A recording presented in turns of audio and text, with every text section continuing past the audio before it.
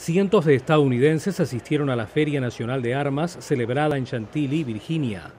En este suburbio de la capital estadounidense, los expositores ofrecieron a los visitantes la oportunidad de vender, intercambiar y comprar todo tipo de armas y municiones.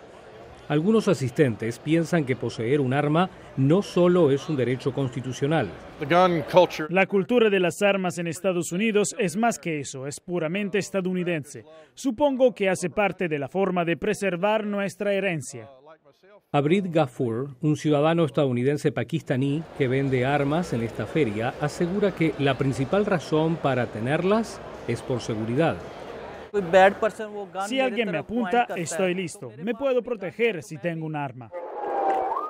Pero los activistas sostienen que es muy fácil adquirir un arma y fortalecer las leyes para restringir el acceso a ellas. Evitaría más masacres como, por ejemplo, la de Parkland en Florida. A pesar de que recientemente la Comisión de Asuntos Judiciales de la Cámara de Representantes aprobó en primer debate un proyecto de ley para fortalecer los registros de antecedentes policiales de potenciales compradores, la pasión por las armas en Estados Unidos se ha incrementado en un 83% en los últimos 20 años, según el FBI. Cuando los clientes compran el arma, llenan las formas y estas son enviadas a la policía estatal.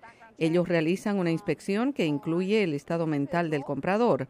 Este chequeo es más estricto que el que se hace en el ámbito federal, como el FBI. Y aunque el apoyo a regulaciones más estrictas creció tras la masacre de Parkland, el impulso no perduró. Las encuestas señalan que un año después de la tragedia, el número de activistas en favor de más controles disminuyó a los niveles que existían antes de la masacre. Luis Alberto Facal, Voz de América, Washington.